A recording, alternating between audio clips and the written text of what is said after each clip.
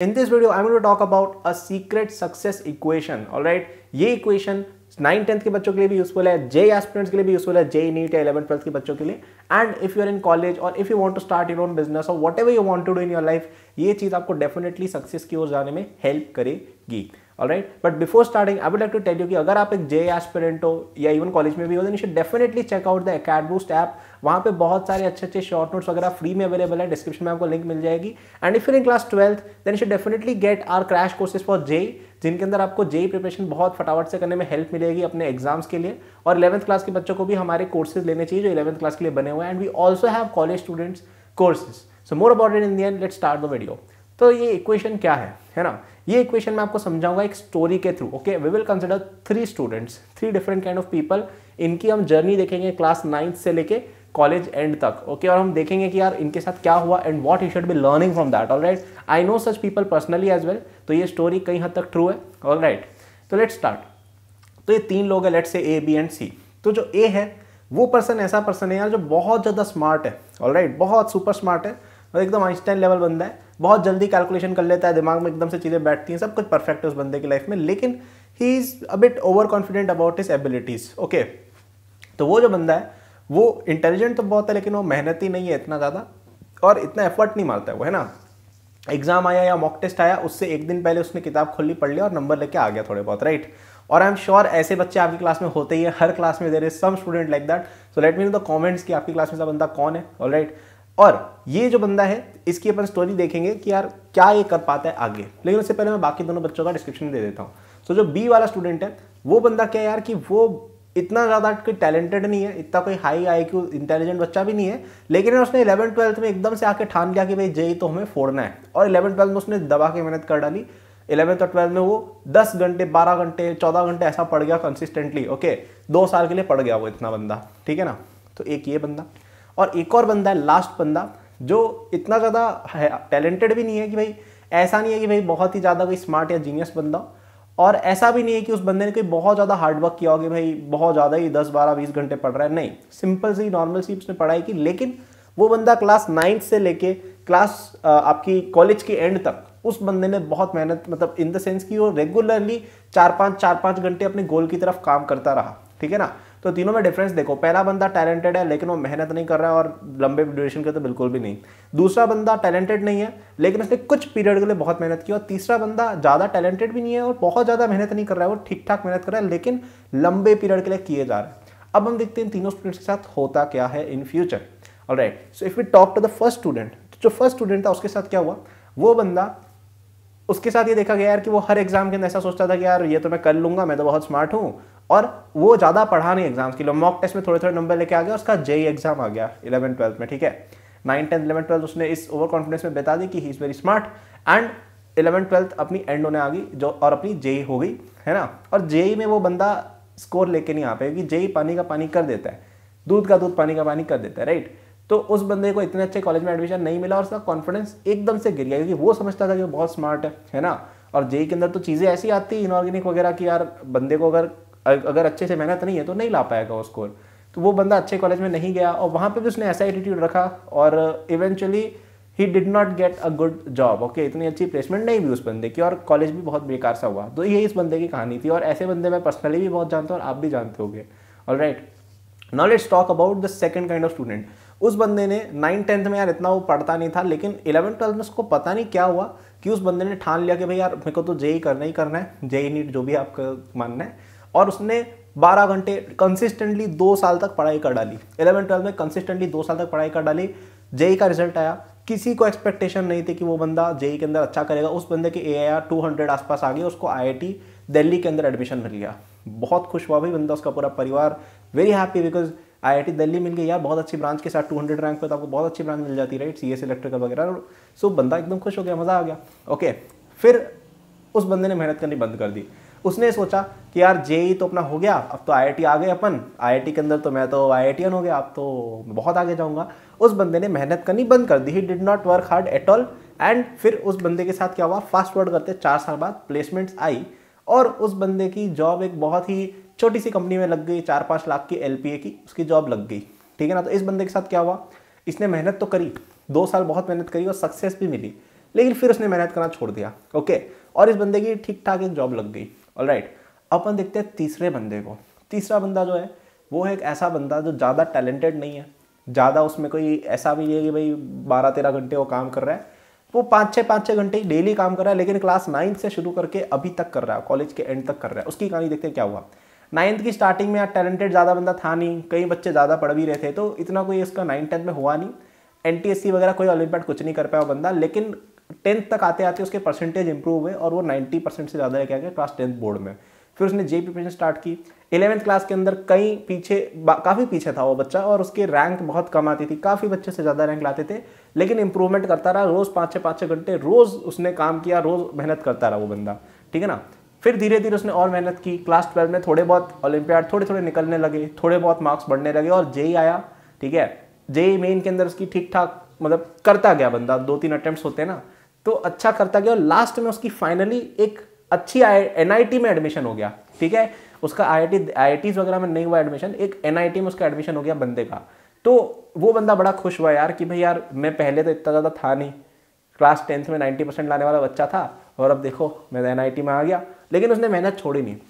वो एनआईटी में काम करता रहा, वहाँ पे उसने अपने असाइनमेंट्स प्रोजेक्ट्स जितने भी होते हैं प्लेसमेंट्स तैयारी, सब कुछ अच्छे से की। और लास्ट में इंटरव्यू प्रिपरेशन वगैरह की और लास्ट में फाइनली हमें प्लेसमेंट हुई। उस बंदे ने अपनी मेहनत नहीं छोड़ी और फाइनली उसका एक बहुत अच्छी कंपनी के अंदर प्लेसमेंट हो गई गूगल के अंदर और बहुत अच्छी पैकेज के साथ प्लेसमेंट हो गई। ओके और ये तीनों चारों ट्रू स्टोरीज है। मैं तीनों तरह के बंदे को जानता हूँ। मैं ऐसे बंदे को भी जानता हूँ, मैं ऐसे बंदे को भी जानता हूँ जो यार मेहनत करनी छोड़ दी बीच में। मैं ऐसे बंदे को भी जानता हूँ जो टैलेंटेड था लेकिन मेहनत नहीं कर पाया। तीनों तरह के बच्चों को मैं जानता हूँ पर्सनली और आप लोग जो कॉलेज में हो, आप भी जानते हो इस तरह के बच्चों को राइट तो यहाँ से अपन क्या लेसन देख रहे हैं? यहाँ से हम ये सीख रहे हैं कि अगर तुम्हारे पास टैलेंट नहीं है, ठीक है ना? अगर तुम्हारे पास टैलेंट मतलब एक तो है कि तुम्हारे पास अगर टैलेंट बहुत सारा है और तुमने अगर मेहनत नहीं की उस टैलेंट के साथ then that's of not much use okay second चीज़ ये कि अगर आपने, आपके पास टैलेंट नहीं है, लेकिन आपने मेहनत करी तो आप बहुत अच्छा रिज़ल्ट ला सकते हो। ज़्यादा उस बंदे ने जेई के अंदर ये आया बहुत अच्छी लेके आ गया, और ऐसे बंदे को भी मैं जानता हूँ जिसमें इतना टैलेंट नहीं है लेकिन दो साल उसने मेहनत खतरनाक कर ली और रैंक फोड़ के आ गया एकदम। और लास्ट पेपर ने क्या देखा? कि अगर तुमने, तुम्हारे पास टैलेंट भी नहीं है, तुम्हारे पास हार्ड वर्क भी नहीं है, लेकिन अगर तुम कंसिस्टेंटली थोड़ा थोड़ा थोड़ा रोज करते गए ना, पाँच, दस साल तक बहुत आगे जा सकते हो। इस बंदे ने क्लास नाइन से चालू किया कॉलेज एंड तक आठ साल होते हैं। मेहनत करता गया और कहाँ पहुँचा? ठीक है ना? और अगर ये जॉब में भी मेहनत करेगा तो प्रमोशन होके फिर अपना खुद का स्टार्टअप होकर पता नहीं बहुत आगे बढ़ सकते हैं। ठीक है ना? तो ये क्या इक्वेशन थी? ये इक्वेशन जो मैं आपको बता रहा था ना सक्सेस इक्वेशन वो क्या है? वो सक्सेस इक्वेशन है कि consistency consistency beats hard work beats talent मतलब आज की दुनिया में या किसी भी चीज़ में सक्सेस मैं मैंने अपनी लाइफ में भी ऑब्ज़र्व किया है।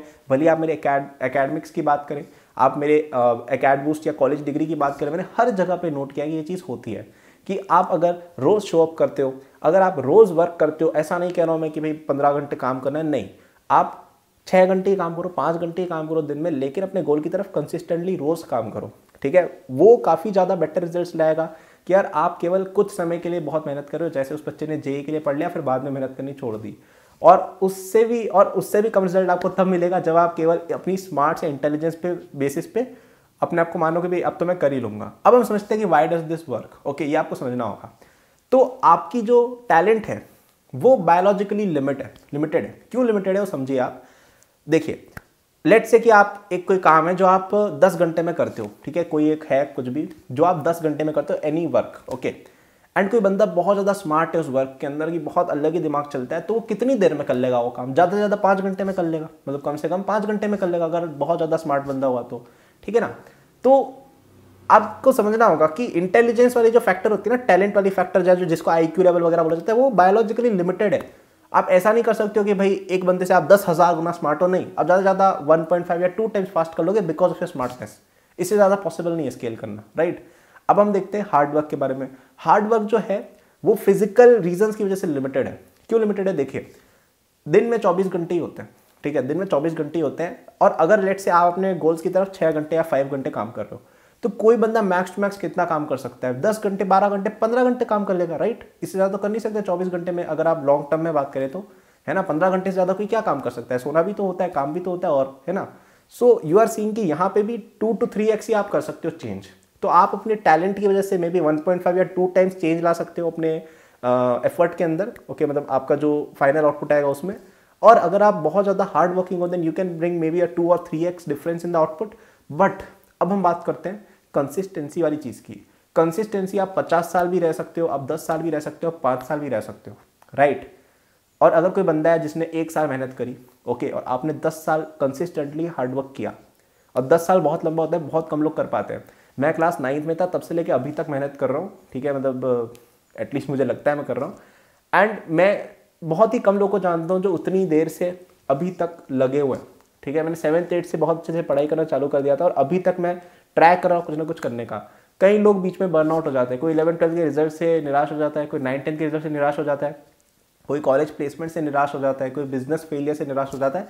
तो 10 साल 20 साल कंसिस्टेंसी रखना बहुत मुश्किल चीज़ होती है राइट तो अगर आपने वो चीज़ कर ली तो आप इन्फाइनाइट स्केल कर सकते हो। आप टेन एक्स ट्वेंटी एक्स का लेवरेज पा सकते हो, ठीक है ना? जो आपको उन चीज़ों में नहीं मिलने वाला है right so this is exactly why this works है ना? और इसको आप रिलेट कर सकते हो कंपाउंडिंग से भी। कि यार आपने देखा होगा ना इस तरह का कि यार अगर आप, है ना, एक सर्टेन चीज़ को आप रोज़, रोज रोज एफर्ट डालते हो, ये आपने वहाँ पे भी देखा होगा कंपाउंडिंग ऑफ़ मनी वगैरह के अंदर। कंपाउंड इंटरेस्ट होता है ना कि one plus rate raise to power time वो वाली चीज़। तो उसमें एक्सपोनेंट जो है टाइम वाला फैक्टर वो सबसे ज़्यादा इफ़ेक्ट लाता है। ठीक है? उसमें वो डिफरेंशिएशन वगैरह करके देख लेना, कोई जो इस बारे में जानता हूँ rate of change of derivative वगैरह के बारे में, कि उससे सबसे ज़्यादा चेंज आता है। वो सबसे ज़्यादा सिग्निफिकेंट डिफरेंस ला सकता है कि आपका वो एक्सपोनेंट कितना बड़ा है। वो एक्सपोनेंट दो से चार कर दिया तो भाई एकदम शूट हो जाएगी वो चीज़। तो it is something like that right तो ये थी मेरी सक्सेस इक्वेशन ये वैसे सक्सेस इक्वेशन नहीं है सक्सेस इन इक्वेशन है, क्योंकि यहाँ पे इनक्वालिटीज़ आ रही है ना कि consistency is greater than hard work is greater than success और ये मैं बहुत बार बोलता हूँ और ये चीज़ आपको डेफिनेटली अपनी लाइफ में लगानी चाहिए। सो आई होप कि आपको वीडियो पसंद नहीं हो तो लाइक करना और सब्सक्राइब एंड बेल नोटिफिकेशन दबाना। मैं इस तरह के अकेडमिक रिलेटेड बहुत वीडियो बनाता हूँ। ना I be telling you about our J and college courses तो अगर आप जे के लिए प्रिपरेशन करें आप क्लास ट्वेल्थ में हो तो should definitely check out our crash courses जो आपको काफ़ी कम समय के अंदर आपकी बैकलॉग क्लियर करने में हेल्प करेंगे। आपको प्रॉब्लम प्रैक्टिस सिखाएँगे, आपको जितनी भी टिप्स एंड ट्रिक्स होती है वो देंगे और टेस्ट सीरीज़ भी प्रोवाइड कराएँगे। ये आपके सारे अटेम्प्ट तक वैलिड रहेंगे और आपको बहुत ही अच्छे तरीके से, बहुत ही कम टाइम के अंदर है ना, आपके लिए सबसे इंपॉर्टेंट टाइम है। टाइम ज़्यादा लगा के कोई भी प्रिपरेशन करा देगा। कम टाइम में प्रिपरेशन कराना, वो आपके लिए सबसे बेस्ट चीज़ है, वो हम आपको कराते हैं। तो do check out the description उसके अंदर आपको लिंक मिल जाएगा, वहाँ पर आप देख सकते हो। राइट और अगर आप क्लास इलेवेंथ में हो तो आपको हमारा जेई सब्सक्रिप्शन लेना चाहिए, जिसके अंदर आपको डीबीपी टेस्ट सब कुछ मिलता है, ठीक है? आपके पास टाइम ज़्यादा है तो आप ज़्यादा एफर्ट लगा सकते हो in the terms of DPPs and all तो आपको वो वाला लेना चाहिए। और कॉलेज स्टूडेंट हो then should definitely go for our skill learning courses जिसमें आपको कोडिंग से लेके मशीन लर्निंग से लेके सॉफ्टवेयर से लेके बिज़नेस से लेके एनिमेशन वगैरह सब तरह की चीज़ें पे सिखाई जाती है एक सब्सक्रिप्शन के अंदर। तो डिपेंडिंग ऑन आपको कितना क्या सीखना है, आप अपनी वैलिडिटी एडजस्ट करके ले सकते हैं। So links of all of these are available in description और अगर कोर्सेज नहीं भी लेने हो तो वहाँ पे हम बहुत सारा फ्री कंटेंट शॉर्ट नोट्स वगैरह भी डालते हैं for J and all of those exams so do check them out do subscribe, do like this video thank you. All the best